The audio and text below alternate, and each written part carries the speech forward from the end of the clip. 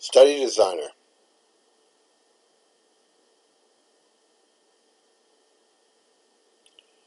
A CLG study is composed of two parts, a group and an analytic method. You've already learned about the group. One group in particular called a cohort, in which each member of the cohort has an index date. That index date connects up to an analytic method, and a study is created when you have both a group and an analytic method. You can have a group such as male diabetics and female diabetics, each member having his own index date, and these are all connected to an analysis of death in one year. So the method is look at elapsed time for mortality up to a year out.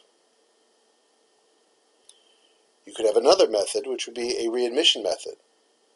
And there again, you'd apply that readmission to male diabetic admissions and female diabetic admissions to see who was readmitted in a year's time. Both the groups and the analytic method are reusable and shareable so that both you and your colleagues can immediately benefit from other people's work. There are three study methods in clinical looking glass, three analytic patterns. There's time to outcome, and in this method, the system measures the amount of time elapsed from each patient's index day until some defined outcome. It then compares the amount of time elapsed to the outcome in the two groups. There is a list method, it generates a spreadsheet with the attribute value of the events that were the index event, and it also allows you to build columns with attribute values of other events related to the first event. In the spreadsheet, you see attributes of the cohort.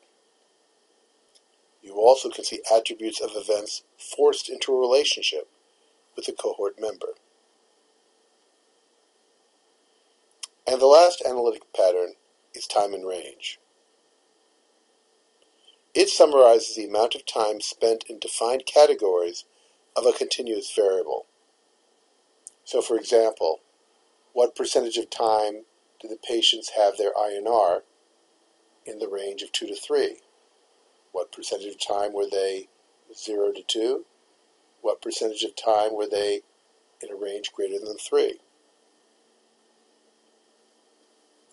All these methods we will review in a little while.